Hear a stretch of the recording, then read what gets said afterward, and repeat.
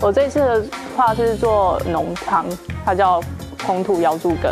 那它是用菠菜跟红萝卜汁，然后各自就是加蛋白、加玉米粉、加水，然后下去打，然后再就是要炸，炸完之后要用水去冲冲洗掉它的油脂，然后再去煮一个高汤。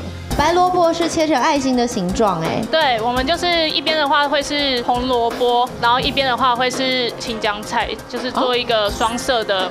羹汤，然后中间的话会是我们的白萝卜的爱心，就是代表心心相印，然后祝福给就是送给们这样。超 Q 的！你为什么要用中餐来呈现情人餐？因为我觉得其实中餐呢也是可以走向国际化的。哎，对我算是摩斯的爱徒，所以一起跟他。